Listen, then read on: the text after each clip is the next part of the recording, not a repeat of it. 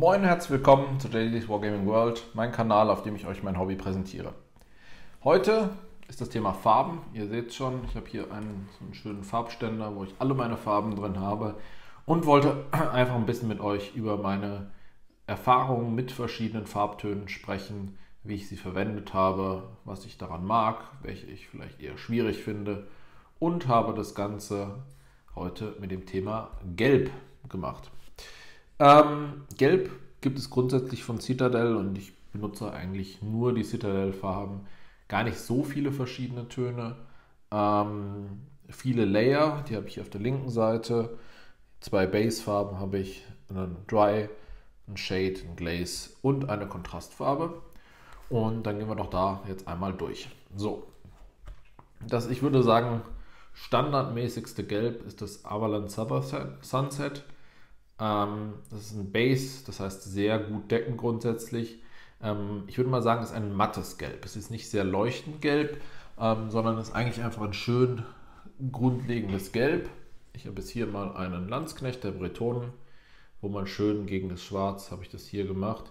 Also man sieht trotz dem, dass es eine Basefarbe ist, ganz leichte Schattierungen. Das finde ich jetzt nicht schlimm, weil von so sieht man es kaum noch. Aber man sieht hier grundsätzlich, hier hinten habe ich dann nochmal mit einem Shading drüber. Einfach ein sehr einfaches Gelb. Das war mein erstes Gelb, was ich je hatte, beziehungsweise da hatte ich noch die, die Vorgängerversion ähm, in dem ersten Farbpaket, was ich mir damals von äh, Games Workshop gekauft habe. Ähm, gut verwendbar. Das zweite Base, das ich habe, ist eigentlich ein Layer. Hm, ich habe gar keinen Base mehr. Okay, ich habe nur ein gelbes Base. Äh, dann gehen wir doch einmal die Layer durch. So, als erstes zur Mesi Desert. Ähm, würde ich euch jetzt gerne mal zeigen. Das ist ein helleres, aber auch sehr mattes, also nicht sehr rötlich wie das hier oder nicht sehr glänzend. Habe ich aber noch nie verwendet. Man sieht es hier noch zu. Habe ich mir letztens erst gekauft. Wollte ich demnächst mal benutzen. Gelb ist jetzt nicht so was, was man so häufig benutzt. Jetzt machen wir heute mal die feierliche Eröffnung und öffnen die Farbe.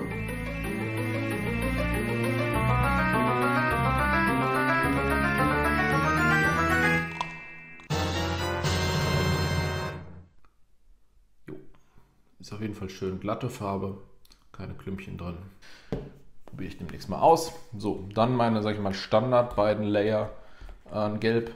Ähm, das ist einmal das Uriel Yellow, ein bisschen dunkler, ein bisschen fast ins Rötliche. Und das Flash Gits Yellow, das ist wirklich das sozusagen hellste, grellste Gelb. Wenn wir uns das mal angucken, das Flash Giz, hier auf einem bretonischen Ritter, das ist knallig. Ne? Also das knallt sofort rein. Ähm, sehr leuchtend, finde ich jetzt für den Ritter gerade extrem passend. Ähm, kann man aber auch bei anderen hellen Armeen, Imperium könnte man das mal verwenden, für Hochelfen habe ich schon mal verwendet. Ähm, oder auch für Highlights, zum Beispiel auch für Augen äh, kann man es benutzen ähm, von, von irgendwelchen Bestien. Insofern wirklich extrem schönes, helles, leuchtendes Gelb. Das andere ist das äh, Irial Yellow. Kann ich euch hier mal zeigen an meinem hochelfischen Sonnendrachen. Da habe ich das hier auf die Flügel gemacht, jetzt auch ohne irgendwelche Shades drüber. Man sieht, das blendet sehr schön mit jeglichen Rottönen ein, weil es wie gesagt auch so einen leichten, fast ähm, rötlichen Touch hat. Geht noch nicht ins Orangen, aber es harmoniert einfach sehr gut. Das, das, das Flash-Gits wäre da sehr stärker vom Kontrast. Insofern fand ich das hier besser mit dem Uriel. Hier unten ist wahrscheinlich auch das Uriel. Weiß ich gar nicht mehr. Das ist zu lange her. Hier oben habe ich es auf jeden Fall gefunden.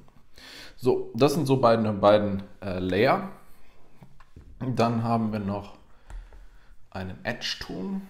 Edge hieß das früher. Ich glaube, heutzutage sind es auch einfach Layer. Es gibt aber einfach noch Dawn Yellow als Layer. Ähm, Edge-Töne waren explizit ganz helle Töne, die man eigentlich nur sozusagen fürs Highlighten benutzt. Ähm, das benutze ich häufig für sehr hellblonde Haare von Elfen. Ähm, zum Beispiel hier. Das ist eine Waldläuferin der Waldelfen. Ähm, übrigens kein ähm, Games Workshop Modell, sondern von Dark Sword Miniatures. Und da habe ich, das war eine Schwarzgrundierung, sehr stark drüber gerieben, so dass man in der Tiefe noch das Dunkle hat, wie Schatten, und oben eben schön die Haare fallen, ohne dass man extra mit einem, ähm, mit einem Shade jetzt nochmal drüber gehen müsste. Und ja, das sind wirklich sehr leuchtende, blonde, elfische Haare. Ähm, das kann man auch gut kombinieren mit dem Nastrack Yellow. Das hatte ich mir mal gekauft, als die Contrasts neu auf den Markt kamen. Habe ich gedacht, oh, gelb habe ich noch nicht so viel, kaufe ich mir das mal. Habe das mal versucht auf eine schwarze Grundierung zu malen und habe dann festgestellt, das war ziemlich doof, weil es bringt überhaupt nichts. Also das auf einer schwarzen Grundierung sieht man so gut wie gar nicht. Ja, beziehungsweise man muss es irgendwie so dick drauf machen, dass fast die Figur wegläuft. Aber auf anderen Gelbtönen kommt das sehr gut raus. Das sieht man jetzt hier. Ich habe das ähm, Dawn Yellow genommen für die grundsätzlichen Haare, bin dann mit dem Nasdaq Yellow drüber gegangen und das finde ich, ähm, sieht als Haareffekt einfach sehr gut aus. Es hat Struktur, ähm, es ist so ein bisschen dunkles, blond, teilweise ins Bräunliche rübergehend. Ja, finde ich persönlich eine ganz coole Kombo. Man kann das Nasdaq Yellow auch direkt auf Weiß verwenden. Da habe ich einmal einen schönen Greifen hier. Das war einfach weiß grundiert und da bin ich dann mit dem Nasdaq drüber gegangen. Man sieht bei diesen Kontrastfarben, die legen sich sehr schön in tiefe Räume ab.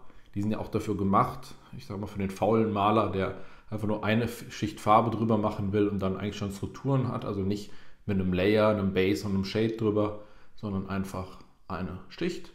Und muss auch sagen, ist gelungen. Also für so einen Löwenkörper von dem Greif wirkt es einfach sehr gut. Es hat viel Struktur, es ist aufregend. Ähm, bei solchen Strukturen ist immer, je näher man guckt, desto eher denkt man, uh, das ist aber ein komischer Fleck hier. Ja? Aber je mehr man weit, weiter weggeht, finde ich, sieht das ganz gut aus. Was ich jetzt hier in dem Fall auch gemacht habe, ich bin ganz leicht mit dem Hexos Pale Sun, das ist der gelbe Dry-Ton, also Trockenbürsten, extrem hell, der ist auch sehr fest. Wenn man reinguckt, sieht man, der schwimmt nicht, der steht. Den nimmt man mit einem Borstenpinsel oder einem Trockenbürstpinsel und da bin ich dann auch hier nochmal leicht drüber gegangen, so ein bisschen Highlights noch zu machen. Ähm, hat ganz gut funktioniert. Ähm, das Nastrack Yellow habe ich auch nochmal auf ein anderes Gelb, auf das Avalanche äh, ähm, genommen, was ich am Anfang hatte, das Base. Hier bei dem äh, imperialen Greifen. Da sieht man, das ist dann einfach insgesamt ein bisschen noch dunkler. Und was ich euch auch nochmal zeigen wollte, hier die Clown habe ich auch mit dem Avalanche Sunset gemacht und dann einfach mit einem schwarzen Shade, dem Nullen Oil, drüber gegangen. Und ja, das finde ich, sieht dann auch ganz gut aus. Ansonsten ist Geld manchmal ein bisschen kompliziert. So, jetzt haben wir noch zwei Farbtöne hier oben drin. Das eine ist der echte gelbe Shade. Ne? Also ich hätte ja fast das Nastrek schon als eine Art Shade benutzt. Das hier ist Casandora Yellow, der offizielle gelbe Shade. Ähm, würde ich euch jetzt gerne zeigen. Ich habe aber ehrlicherweise keine einzige Figur gefunden, wo ich mir erinnert habe, dass ich das benutzt habe. Ist eher speziell, weil es fast ins Rötliche geht oder ins Orangene, sieht man ja auch. Ähm, Finde ich nicht so einfach anzuwenden. Das muss schon sehr gut passen. Also wenn man jetzt wirklich einfach nur ein dunkleres Gelb haben will, also wie jetzt zum Beispiel hier bei den Klauen von dem Greif, dann verwende ich eigentlich eher direkt das schwarze Shade, anstatt dem, sag ich mal, gelben Shade. Ja, man sieht ja auch noch fast voll. Also muss man sich überlegen. Und das letzte, da habe ich auch kein Beispiel, weil ich es immer nur zum Highlighten benutze, Lamentas Yellow Glaze. Diese Farben gibt es auch nicht mehr. Die gab es früher mal von Games Workshop in grün, rot, blau etc. Die sind sehr schön, um einfach nochmal ein kleines Highlighting am Ende zu machen. Ähm, zum Beispiel auf einer Klinge drauf, dann wirkt die ein bisschen gelb äh, oder ähnlichem glänzt. Ähm, heute gibt es noch Technical-Farben, wo man aus jeder Farbe theoretisch so etwas mixen kann. Habe ich persönlich noch nicht gemacht, weil ich habe ja noch Glazes von jedem Farbton. Das war der große Ausflug in die gelbe Landschaft von Citadel. Äh, ich hoffe, es hat euch Spaß gemacht. Ähm, kommentiert gerne, was eure Lieblingsgelbtöne sind oder auch gerne andere Farben und ich hoffe, euch das nächste Mal wieder begrüßen können. Danke, das ist euer JD.